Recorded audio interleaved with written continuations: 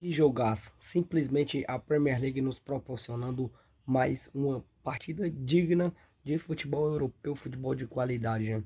Esse cara aqui sofreu, e tanto é que ele marcou o gol, ele foi abraçado um torcedor que invadiu ali, não dentro do campo, mas ali aquela parte sendo gramada, pulou aquela, aquelas placas de publicidade. Enfim, vamos falar do jogo, né?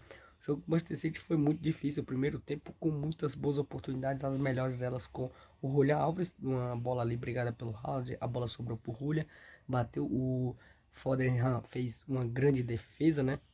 E pouco tempo depois um pênalti marcado, né? Jogador do Julian, do Álvares, a bola bate no braço do jogador do Sheffield e o Haaland bate, né? Bola para um lado, goleiro para outro, mas a bola bateu caprichosamente no pezinho da trave e saiu, ficou nisso 0 a 0 Agora no segundo tempo a pressão do Manchester City foi demais, cara. E aí com o Rodri, com o Haaland, com o próprio Julian Álvares, todo mundo tentando até que é, tem aquele ditado, né? Água mole, pedra dura, tanto bate até que fure no cruzamento ali do Grealish, o cabeceio do Haaland no segundo pau, chão como manda o manual, fez Manchester City 1, Sheffield 0. E aí o torcedor invadiu ali aquela parte ali que eu falei, né? Abraçou o Haaland.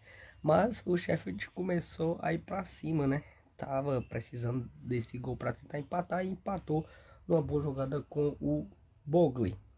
E depois é, o Manchester City foi para cima, né? Isso com 39 da segunda etapa. Aos 43 o Rodri recebeu, né? O Walker que tinha falhado no gol do Sheffield fez a boa jogada. Tocou, voltando o Foden dominou mal e a bola sobrou no pé esquerdo do Rodri que deu uma sapatada no ângulo, um golaço e aí ficou nisso, um para o Sheffield, dois para o Manchester City. O City segue bem na Premier League, né, em termos de números, mas não consegue golear ainda seus adversários. E é isso, mais uma vitória com o gol do Haaland.